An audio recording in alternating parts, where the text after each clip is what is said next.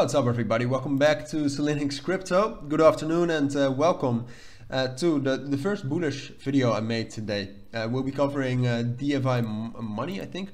Uh, the token is YFII, uh, DFI money, yeah. Um, we're covering the, the, the only really bullish crypto today, YFII. It's up 30%, volume has increased to almost uh, to more than 150 million, which is amazing. Um, but apart from that, what I usually do in these videos is, is I cover a crypto, I cover the price, and that's also what we'll do in this video. Uh, but usually I also cover the news around it. And uh, when I saw this token, I thought, well, we have to have some news um, to be bullish in, in this entire market, which has been uh, which has been affected by the whole drama between FTX uh, and Binance, but especially around FTX. Um, there has to be some good news for YFI, YFII. Um, but in all honesty, I couldn't find anything. Um, I couldn't find anything that, that's bullish about this, which makes me think this is manipulation, but the market doesn't look like it's manipulated.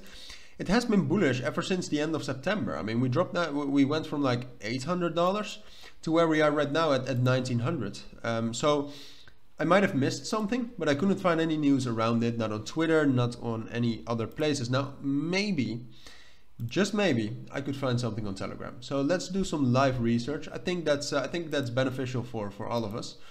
In the end, we want to know what's uh, in the end we want to know what's going on. If I could open it at least, that would be amazing. Uh, yeah. So hopefully you're not seeing this right now, but I'm I'm in Telegram right now. Yeah, I mean no nobody knows what the what the um, what it is either.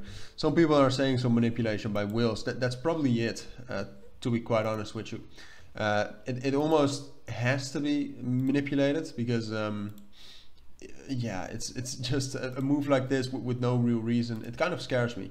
Uh, but if we take a look at the at, at, at the technicals real quick, what you can see is that we, we actually found our first resistance level where we're struggling with quite a bit. This level between 1950 and uh, and 2100 so if we really want to get like our next price target is right here between 2300 and 2400 uh, we could reach that but we need to do two things. First of all we need to stay on top of this support level here between 1700 and 1750 as long as we're like, like you have to see it this way. As long as we're above that support level we're still bullish so we can still break above 2000 and the moment, moment we break above 2000 we're going all the way up to 2300 and 2400 so yes uh, even with these market circumstances, I think we can actually continue this.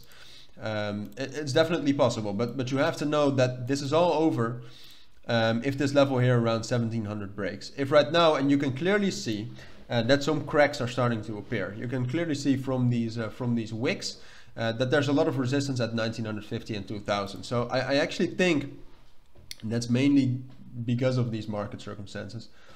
Um, I think it's more likely that we'll actually not hold 1700 and that we'll break down below to like 1600, take a break retest and start dropping down to this uh, 1500, 1400 level. And then from there, I, I think we'll consolidate.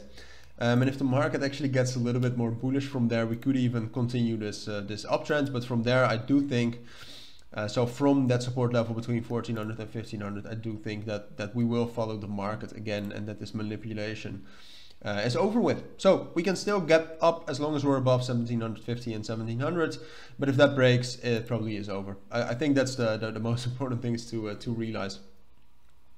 Um, so yeah, if you do have any questions about the video or about anything I said, let me know down in the comments. But for now, take care and bye.